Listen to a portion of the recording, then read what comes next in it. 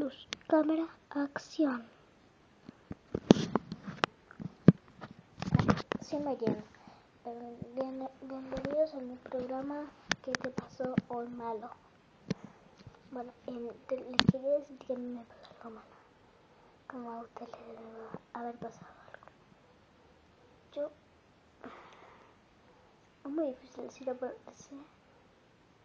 para dejar de comerme las uñas, pero que no se va a cumplir, sí.